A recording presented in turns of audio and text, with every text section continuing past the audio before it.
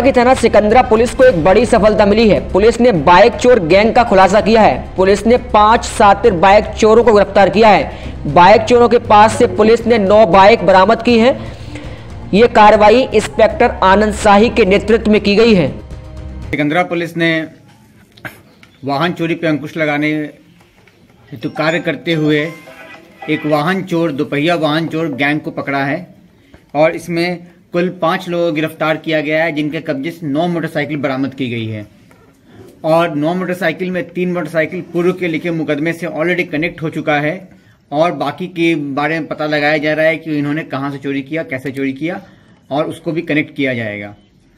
और इन लोगों का कुछ कार्य प्रणाली इस प्रकार था कि एक व्यक्ति है जो इसका मास्टरमाइंड है, वो वाहन चोरी करवाया करता था, और वो जिसको बेचा करता था, उन दोनों को गिरफ़्तार किया गया है। और वो लोग मोटरसाइकिल को काट करके उसके पार्ट्स अलग अलग करके बेच दिया करते हैं ताकि सारा सबूत नष्ट हो जाए और इन, ये पकड़ में ना आए।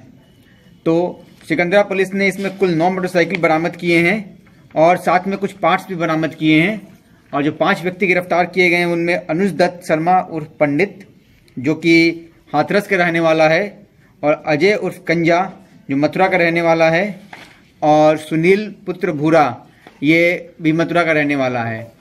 इसमें जो मास्टरमाइंड है वो अनुज है और अजय और सुनील है।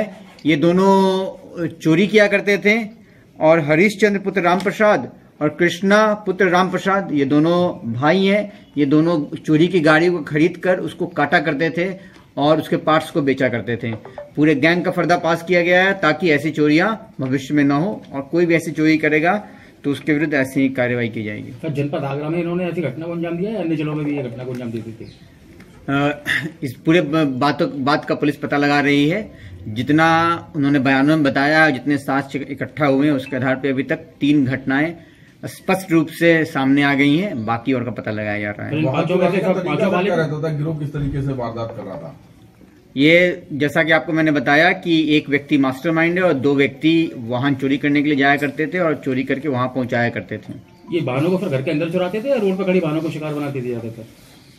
घर के बाहर ही वाहन चोरी होते हैं घर घर के अंदर तो जनरली वो लूट हो जाती है और वैसा जनरली नहीं होता है। घर के बाहर ही जनरली जो लगा के रखते हैं उनको चोरी होता है।